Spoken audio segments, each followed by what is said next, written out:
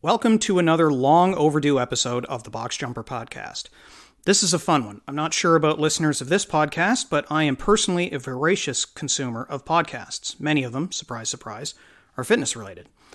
And this episode is in part inspired by a recent episode of another one of those podcasts that I listen to faithfully, the Varied Not Random podcast, hosted by OG CrossFitters and respected programmers Adrian Bozman and Pat Sherwood. On this episode in late October, uh, Pat and Adrian had a long chat with affiliate owner David Osorio of CrossFit South Brooklyn, in which he talked about not assigning RX loads in workouts. It was a more complete conversation than that description captures, but in essence, he was talking about programming with structured scalings of the workout of the day so that everyone has kind of their own version of the workout. And I immediately thought, well, that certainly sounds familiar because the gym at which I train, Onside Performance Center in Halifax, uses a system called the level method to provide multiple versions of the same workout to different levels of athlete, meeting the athlete objectively where they have demonstrated themselves to be with a series of benchmark assessments that provide a cross section of the 10 general physical skills and the objective measures of fitness, work capacity over time. And that was wonderfully defined by Greg Glassman's article in the CrossFit Journal, What is Fitness article on October 1st, 2002. So that's the backstory on the why of today's episode. The level method, brainchild of Nathan Holiday and his team, is a clever systemized approach to deliver, in my mind, five things at once. One, an organized and standardized means of programming and scaling slash modifying workouts to relative levels of fitness and intensity. Two, an objective assessment uh, and tracking of fitness levels over time according to that classic Glassman definition. Three, an education and objective setting tool that allows athletes and coaches to visualize skill, strength, and capacity progressions throughout their fitness journey. Four, a built in safety check and ego dampener for everyone involved to use these objective measures to make appropriate decisions about their fitness and their workouts. And finally, five, a guide and training tool of sorts for coaches in the CrossFit space that helps provide a common framework for their approach to coaching while retaining the flexibility to personalize their approach and shine as they would naturally in front of the room. To get a little bit more context around the thinking behind the level method system, I reached out to Nathan and he immediately agreed to talk a little shop.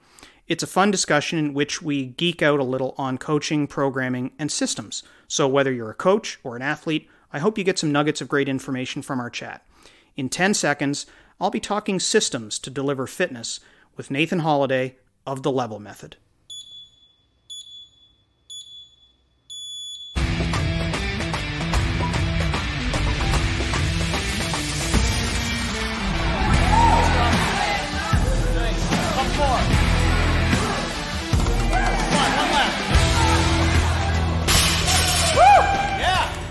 Nathan, welcome to the Box Jumper Podcast.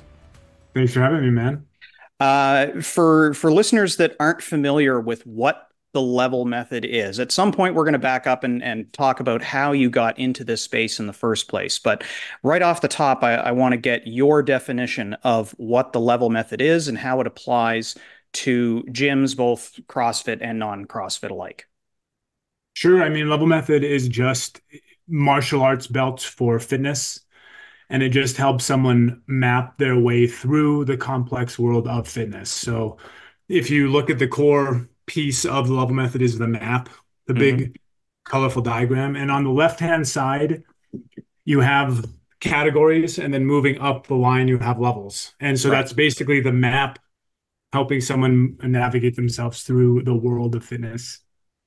Right, and down that left hand side is is um, kind of where some of the interesting magic happens because you've got the, those assessments are in a variety of different domains um, that touch on uh, some of the things that CrossFitters are fairly familiar with. Um, but just uh, kind of, can you talk about the the groupings of what those uh, what those categories are that that you assess, and then how are they used? Sure. So, um, you know, behind any sort of fitness system or workout, there are energy systems. And energy systems kind of map out how the body uses fuels. Um, and so you have sort of short, medium, long energy systems. And the map was the groupings don't have to do with those, but the groupings have to do with the way the assessments would be done. But the energy systems really lay the foundation behind the scenes of why the levels are the way they are calibrated up, but also why you'll see, you know, short, uh, skill based, and then some longer stuff also. So it's like behind the scenes, we have energy systems which lay the foundation. Right. Um, and then uh, the, obviously separating the the belt colors would be the relative levels of not just uh, fitness but skills as well, because there's there's a clear progression that um, is is part of the way that you've mapped things out. Yeah, absolutely. So, you know, the big question is always like, how do you lower the complexity for somebody? How do you make it interesting? And th- there's a map going through fitness and levels you know just it's why martial arts belts are in existence you have levels and it helps someone see where they are in that world right and the if you look at the categories they're broken up so they're groupings but they're also really broken up into a wide array of different kinds of skill sets so you have things mm-hmm. like 20 rep back squat and and i mean you've been in fitness for a long time and you'll probably recognize these worlds. So you have like the kettlebell world, and it's kind of coming from RKC and taking in a lot of these different elements that are, you know, part of what fitness, well-rounded fitness should be. So in the early days of kind of putting it together, figuring out what the the categories are, those 15 is probably the most important thing that you can do to lay out a framework. So if anybody's ever thinking like, okay, um, I want to build a level system, the first thing is always, well, what are you testing? Right. What are you going to be testing and why are you choosing those and what elements? And, and the level method is really designed to take fitness, like the broad world of fitness, and distill it down into as few categories as possible that will give someone the best indicator of where their fitness is. And so, um, you know, picking those takes a long time. And then the calibration up also takes a long time because, as an mm-hmm. example, you might have like blue, you know, of running, and then you have blue of, uh, you know, front squat. And well, how do those relate? Why is one blue like what? How does that right. world world work? And that's that's calibration. So you have the category the categories, which are really important, and then you have how those categories are calibrated um, and that the calibration takes a lot of time to gain the data. The categories are a product of you know just a long time of thinking about it and trying to distill and figure out what the best groupings would be. Right. I, I can see that there are a couple of different potential entry points um, on on a discussion of the level method because you've got the the um, you know coming up with a systematized approach to uh, assessment of where a person is and where their progression is intending to take them so that they can see those observable, measurable, repeatable uh, tests that then determine whether or not they're legitimately making progress. And the way that you've broken them down um, allows them to track progress in um, a, a, a more complex, nuanced manner because they're not you know they're not just hitting uh, a hero workout every six months and seeing whether or not their time changes. They're looking at componentry to to their um, their skill assessments as well. So you look at something like back squat you look at the neuro and core assessment you look at and like things that are on different ends of the map um, from the athlete's perspective gives them the ability to look ahead look at where they are now and where the gaps may lie too because somebody could be Um, you know, white or orange in one skill and much more advanced in another skill that maybe they're up in purple or brown. And reconciling the difference between those two becomes an important facet of how they manage their fitness on an ongoing basis. Should they be aiming to narrow that gap as much as possible? Is it reasonable to narrow that gap across the myriad of skills that you're assessing? Yeah, I think that really comes to how advanced is the athlete along in their journey you know? And in the early days you know you might have strengths and everybody has strengths and weaknesses. Mm-hmm. and level method is really designed to focus on your weaknesses to kind of bring those things up over time. Um, the programming also addresses that sort of stuff. So if you're you know if you do a program or are familiar with it we have what are called levels considerations and this is people ask like well how do you take all of these levels and put them into a group or into a workout and levels considerations is how we do that because in every element of a workout you'll have like say you have a deadlift in the workout and you have an upper body pull in the workout. Right. You can see now what your levels are for each of those things and then mix and match the programming to get a workout that is designed for your level. So those the the the strengths and weaknesses definitely come into play for somebody that wants to maybe work on their weaknesses by doing ex, you know extra stuff outside of class. Right. Class will then help you you know get all of the the broad fitness categories you know just that wide um, inclusive fitness. Um, but the the way that we progress someone is really through you know focus. I, I meet with you know you meet with a, a client and then it's like well what, where's the weaknesses? What are the problems? And let's add some accessories or add some things to your regular program to to help with that. Now right.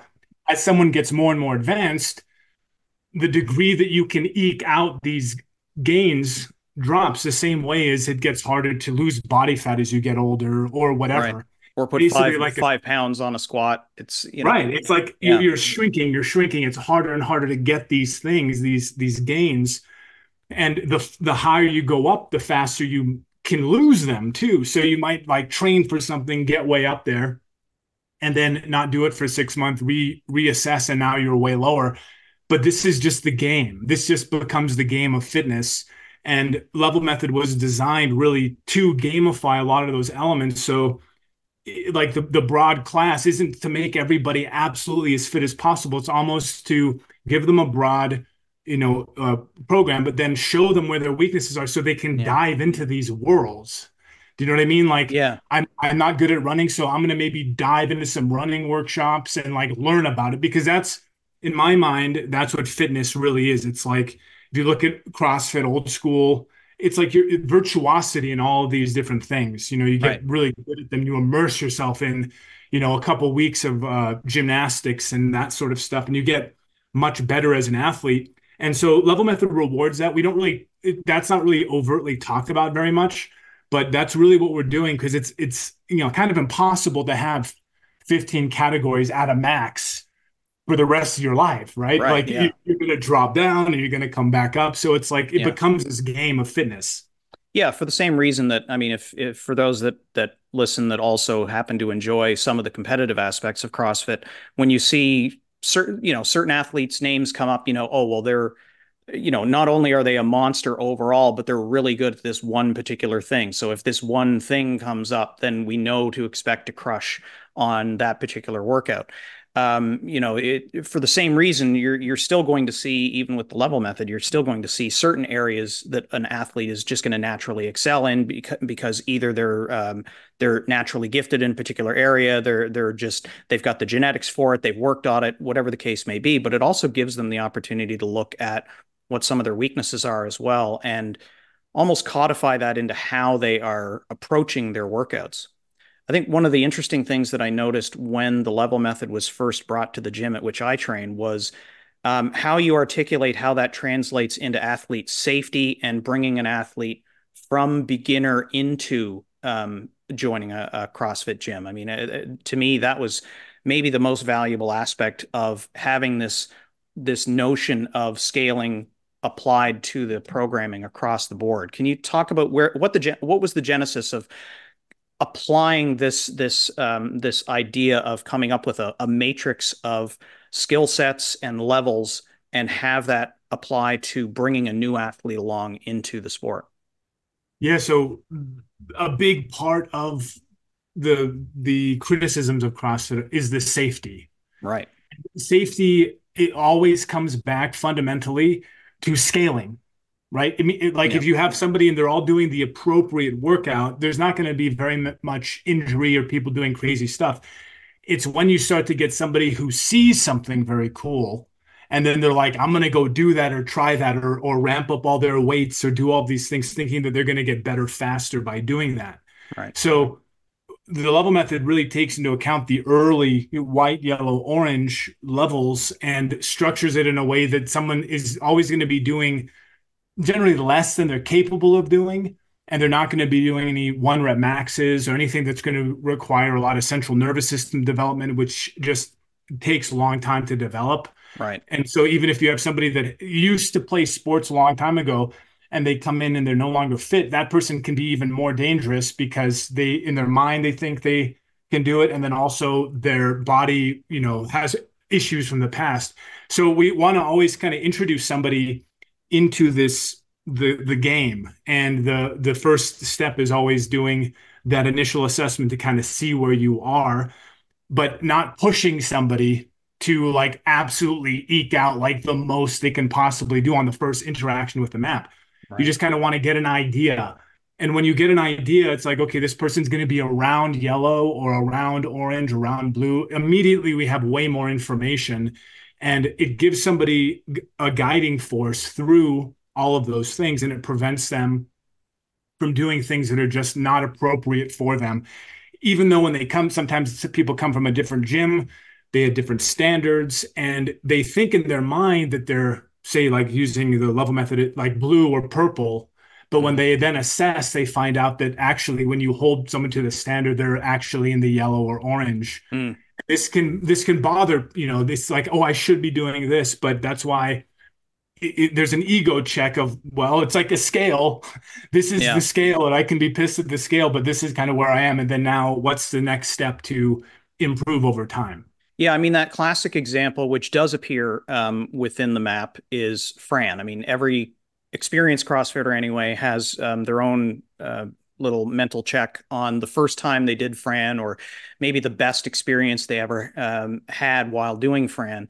And it's that litmus test. Like we we all use that as a as a metric but at the same time we all recognize that we're not the same athlete either. It, you know the pro athletes can rep that out in 2 minutes.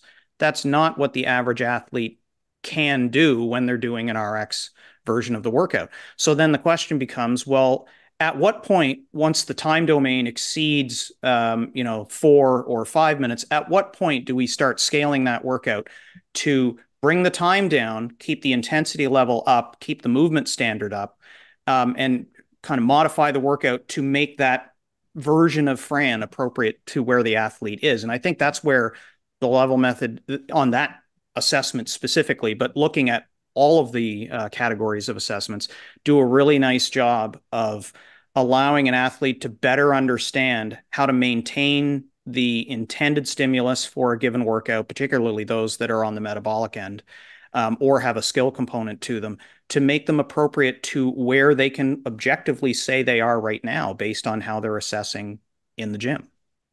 Absolutely. You know, that's that brings up energy systems always. Mm. Uh, so when you look when you take a look at the Fran or lactic, we call it lactic tolerance, right, or lactic endurance, depending on where you come from. But um, the the that la- that is a lactic test, right? And so right. if you we we just finished a, a, an energy system blueprint course, the first one that we've done, and just this four week course where we go over all the core concepts of the energy systems behind what we do. And the simplest way to think about it is that energy system equals or energy systems equal sensation Mm. So when you when you do a certain workout in a certain way, you're going to elicit a certain sensation. If you're doing like base work, you know you're breathing nice and steady. There's not really anything that's really terrible, right? If you're doing strength work, it's very hard contraction. It's not necessarily like repping them out. If you're doing a lactic tolerance workout, there's a very specific sensation that is elicited, and everyone who's done Fran knows. Oh yeah, done it correctly, right? The so heavy breathing, way, the burning muscles. Exactly. And the way yeah. that we categorize lactic tolerance is full body burn. Right. It's like my whole body is burning. It's, there's not any one place where I'm like, ooh, it's just my whole body is in pain and it's just uncomfortable. Right. And and that's a pro that's a product of the kind of fuel you're using and switching over and you know using more sugars and then depleting it and then uh, you know the lactic acid everything is kind of that's all part of the system. And so when you look at when you look at the levels if i have fran and i have somebody who can't even do one pull up and then i have the you know 2 minute people th- those are completely different workouts but it's right. the same workout. But to the person it's a different workout because the way that workout makes them feel is different for each person.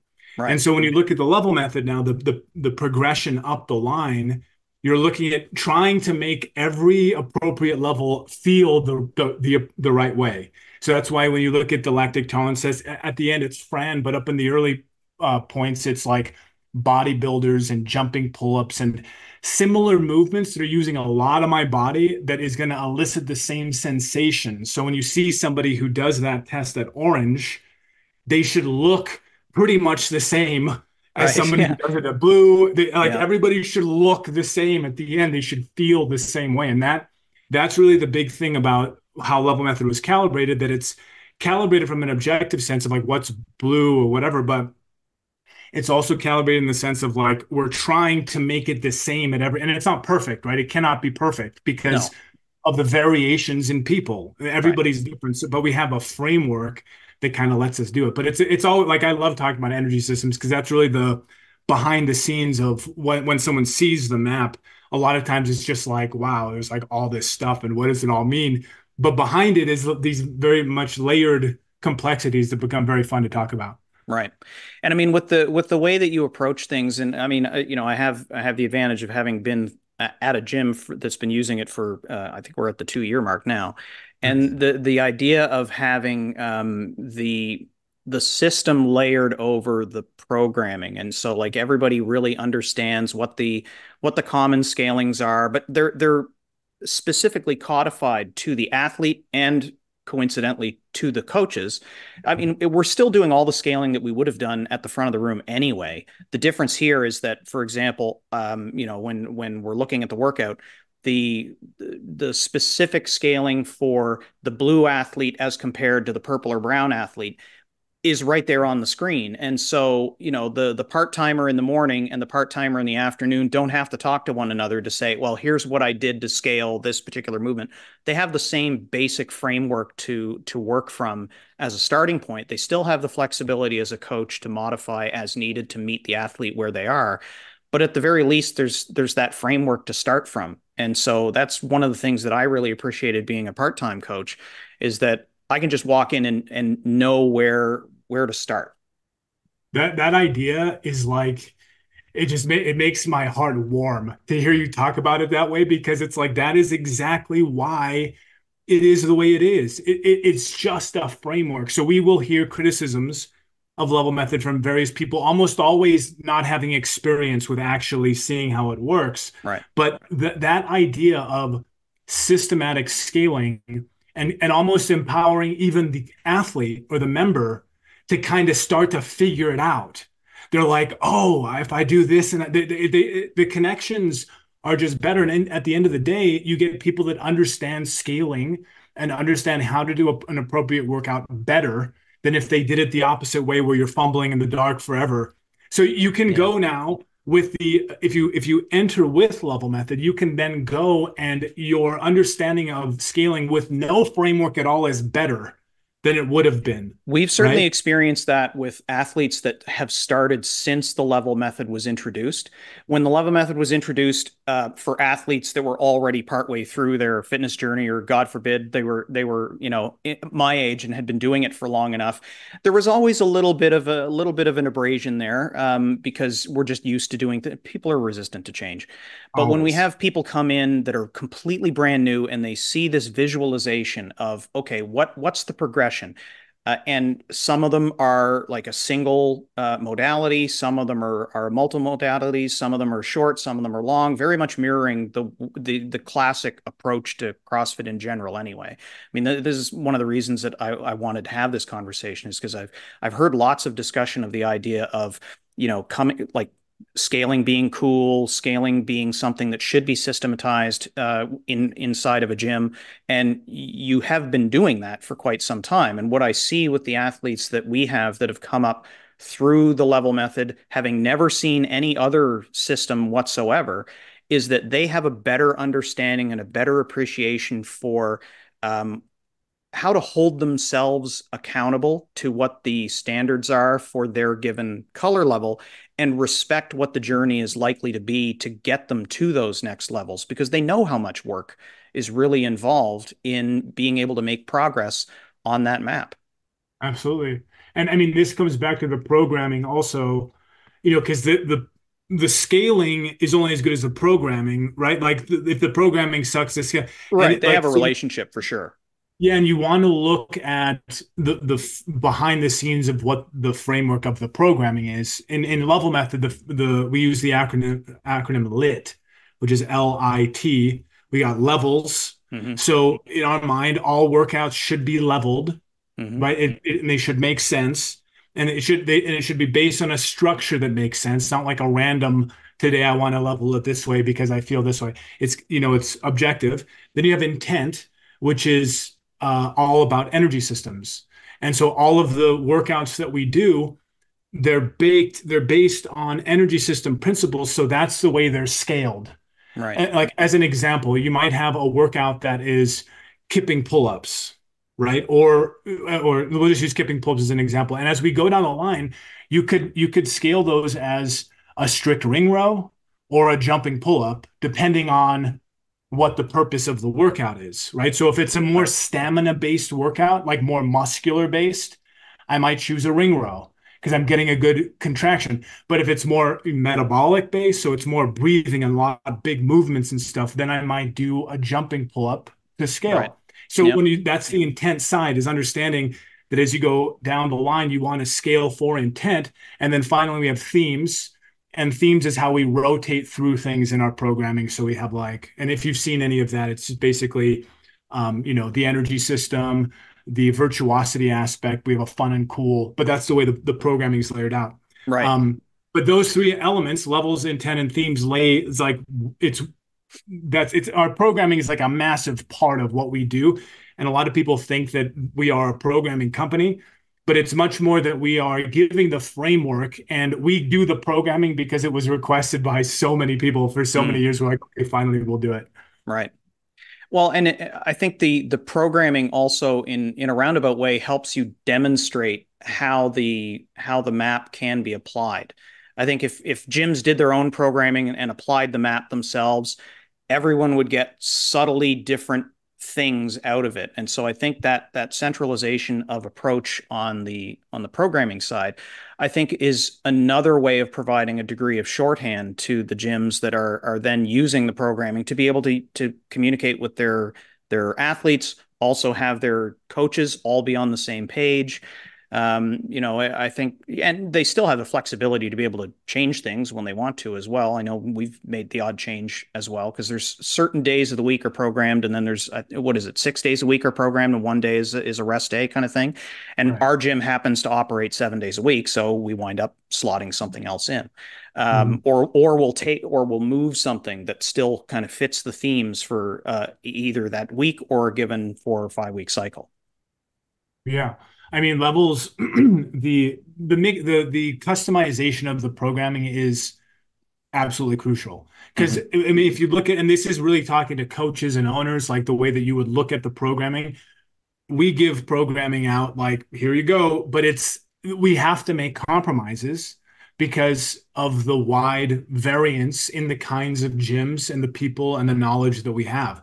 So yeah. there's always yeah. this we we basically go like the 85% across that everybody's going to like, you know? And what individuals have to do is understand that that then gives you a great uh, framework to work from if you wanted to to adjust or change. We do have gyms that do their own programming mm-hmm. uh, with level methods. So and and that's originally it was just a framework of levels. And so in the earliest days, we didn't do programming. We just was like, here's a here's a system do it all yourself and you know use your own programming and level it out. But that's just so much work right? And mm. so we do still have people that have their own programming. But if you're going to do the level method right you have to have leveled programming which then means that you've got to level the programming which takes forever.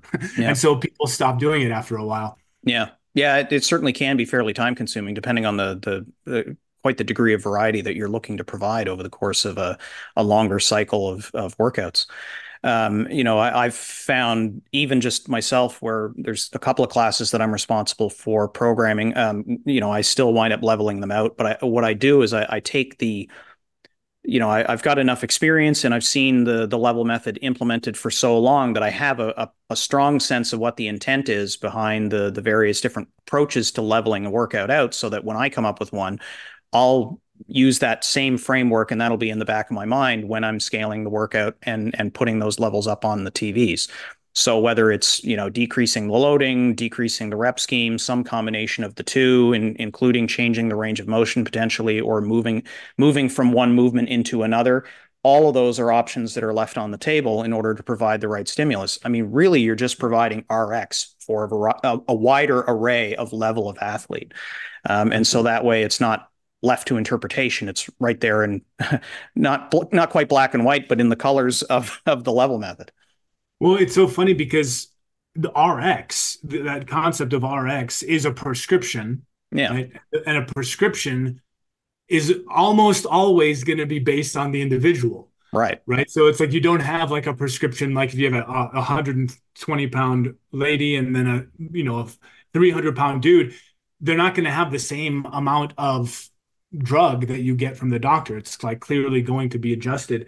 And when you think think about fitness in that same way, there's so many different ways to be fit, but everybody is unique, you know, and everybody should have a workout that is as close to individualized as possible. Mm-hmm. And this is the the age old argument about you know individual program design versus group classes, and is there a way to do to mix and you have uh, individualized programming in a group, and that's really what we're trying to do is to allow that very very focused on the client idea mm. to adjust workouts on the fly very easily and with you know coaches that are still new can can also do that in a much better way. Right. You mentioned uh, so when when you started, it was just a framework. Did was the framework as we see it now? How many evolutions of the framework did you wind up going through to come up with the 15 categories and and, all the different uh, belt levels because I mean in each color you've got four levels as well so I mean it's a, it's a pretty pretty comprehensive grid of uh, different assessments that uh, an athlete can complete. Yeah, the the first map was it was essentially white white to black, so it didn't go up to red yet, and mm-hmm. it was much harder calibration.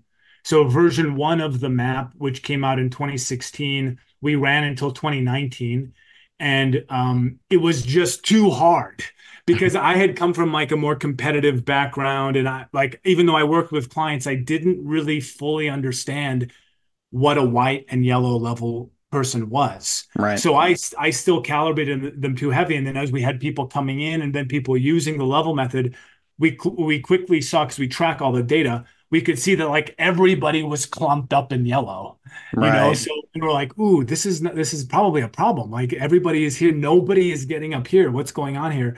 So um, we had a, a, a master's or a youth map separate project. And so that was a little bit quote unquote easier calibration. Mm-hmm. So we combined those two maps into version two, which is what we have now, okay. which basically blew out all of the levels. So it made the white level easier on entry for the beginner. Mm-hmm. And then we blew out into the quote unquote red elite, which is the competitor zone. Right. And so that allowed us to kind of just give the people that did want to compete a, a barrier of okay well you should probably only be thinking about competing at a high level if you're in this area mm, if right. you're not in this area yet just focus on building up your levels do you right. know what i mean so that's uh that's kind of the the evolution yeah i mean it's clear that it's intended for a very broad audience which i think is is appropriate given that you know i, I would expect anyway that the majority of crossfit gyms out there and, and even non-crossfit gyms alike probably they're they're their average population, uh, you know, the best athlete versus the the most beginner level athlete, the spread between them is so substantial. Mm-hmm. And so, you know, you're right. Having stuff clustered around a, a particular level of athlete would make things uh, less applicable and um, a, a little harder for the athlete to engage with and not give the the coaches within that facility the same degree of tools that I think the the broader application of the map delivers. Yeah, that entry point is really the mm. if it's too hard. So the idea is you want it to be available to everybody. Anybody right. who comes in can get on the map. You can bring your grandma. She's gonna, you know, she's gonna be able to get on the map. And so when we the original one, if we had people that weren't getting on the map, then that's what we would call like an anti-powerful moment it's like the opposite of what we're trying to do here. Right. We want everybody to get on the map because then you have a starting place. And then it's right. like, oh, you see all these people in a normal environment doing muscle ups and snatches.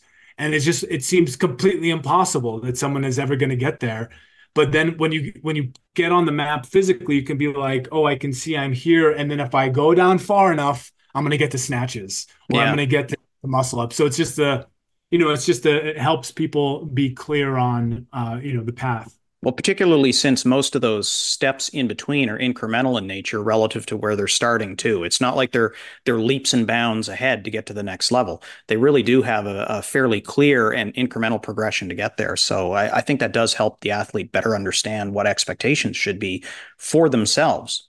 Right, right, and that's that. That are, those are bottlenecks. Yeah. So you know, in any in any of the categories, you will get little bottlenecks, either, psychological barriers, like it goes to a new kind yep. of movement and someone's hesitant, or it's a, a big jump in like a bunch of weight or something like that. But yep. you can see these bottlenecks. And in the early days, part of that version two was, you know, exploding them a little bit. So mm-hmm. where are the bottlenecks? Okay, if there's like a 10% of people he, right here, what are the intermediary steps in between those? And right. then we blow out the levels a little bit so now we have a better progression. And so that happened multiple times and that's why the progressions we have less bottlenecks now because we've really worked on that but mm-hmm. we still have some as it'll always be but it's it's uh, very interesting when you look at it that way. What's what's the next uh, evolution of the level method as you envision it? I mean you've you've gone through a, a 2.0 iteration already. What are some of the things that you're working on for the future so a lot of AI stuff, one of and with programming, a lot of things around programming specifically. The map itself is pretty well settled. We might have a, another update sometime in the future, but um, the you know using imagine if you had the framework of levels mm-hmm. and AI was able to then scale workouts. You could take any workout or any program and then have it scaled in level method automatically so you mm. could get all the levels right away. So you could take main side, you could take whatever, right. plug it in, and um, you have them. And so that we think will help with uh, expanding because we get do get a lot of people that want to do their own programming or they or the programming they're doing they like. Right. So if there was a way just to allow them to plug it in and get what they needed, or they might be doing CAP, which they get access to for free when when they're right. an affiliate anyway. So, that, but yeah, then, then they have the extra work of having to come up with the the levels in order to actually apply the level method to that programming system. Right. So it's just that streamlining element. You know, we yep. have some business development stuff for gym owners. Right. Uh, and then we are launching um, just programming only. So for gyms that don't want to run the level method, they can only do the programming. So that's kind of like another. But right. a lot of our uh, what we do now, a lot of it is uh, like more business related, trying to grow level method and just make sure that we're you know keeping the quality high always that we're not getting complacent or anything like that and just making sure that we're delivering to to our clients right I don't know if too many uh, gym owners would would uh, commonly listen to the Box Jumper podcast, but if somebody wants to get in touch with Level Method and and reach out and learn a little bit more about how to apply the system to their gym, how do they reach you? levelmethod.com. That's the best place, and all the info is there. We're just in the process now of overhauling. So next in the coming year, there'll be a new website. But um, yeah, very. If anybody is interested, you could also email me if you have any questions. Nathan at levelmethod.com. Be happy to fill you in. awesome. Cool. All right. Well, Nathan, I really appreciate it. I, am um, sure I'll come up with a myriad of questions after we hang up, uh, so I might fire you an email and include it in either the intro or the outro to the uh, to the episode. But I really appreciate you getting together with me and and talking shop. Perfect. Thanks, man. I appreciate you having me on. All right. Thanks so much. Another episode comes to an end. All that's left is the M wrap up. You can well imagine how systems layered over the pursuit of objective measures of fitness can be used to make genuine progress in a safe and effective environment. A good CrossFit coach would do much of what the level method system delivers as a matter of course. But what's different here is that now all the coaches on a team have a common framework to apply to the gym. And a team can include a blend of part time and full time coaches of varying levels of experience and varying levels of connectedness to one another over the course of a week of coaching. And in particular, if a gym is subscribed to the Level Methods programming track, then you get effective workouts that have been programmed with the Level Method system in mind from the very beginning. In either case, you have a structure to use to track fitness over time. Rather than arbitrarily testing yourself on a handful of classic benchmark workouts every three to six months, you instead follow a structured program with an assessment model that makes the progression within key categories that complement one another to collectively define your personal objective level of fitness. You can program whatever you want around it, but at its heart, the level method is a plan to achieve fitness. And that to me is very much what Greg Glassman's vision of fitness was when he wrote What is Fitness? Before that article, fitness was a subjective thing without a concrete and accepted definition of what it should mean in simple and measurable terms. The level method takes that philosophy forward, providing a framework to define your fitness with objective, measurable, and repeatable assessments that address multiple measures of capacity across broad time and modal domains. Kind of sounds like CrossFit through and through. If you like this episode, please share it with others or even write a review on Apple Podcasts. It does actually help fitness minded people find the podcast. If you have ideas or questions, send me an email at podcast at boxjumper.ca. And be sure to follow me on Facebook and Instagram with the handle at boxjumperover40. Thanks again for listening. Be sure to follow or subscribe in your favorite podcasting app so you get the next episode when it's released. Until then, stay healthy, WOD happy, and WOD often.